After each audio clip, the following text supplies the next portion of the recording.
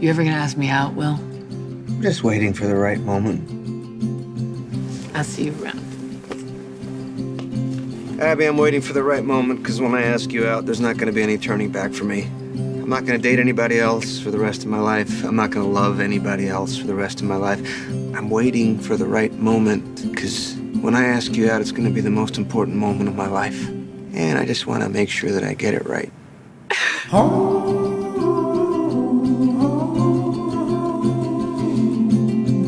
Life itself tricks us. It misleads us. It paints one man a hero when he may well be a villain. Hero or villain? Hola. Hola. Villain or hero?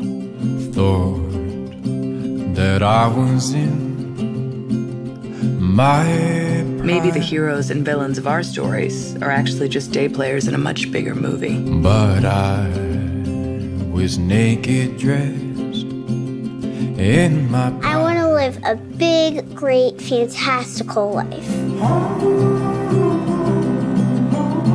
Let's get married. We've been dating less than a year. I know. And I feel like I've shown incredible restraint waiting this long. You made me run like I never run. Try like I never tried. I love you, Like I never thought maybe but I may not be equipped to be loved this much.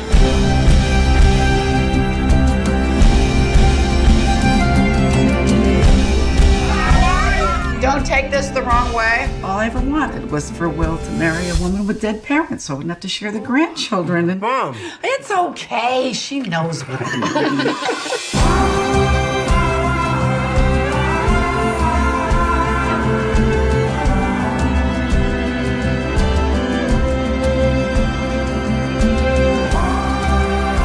So strange how a completely random moment that happened way before I was born would shape my entire life. Are you glad it happened? Start small, grow tall. Hey, are you pregnant? Surprise! Start small, grow tall.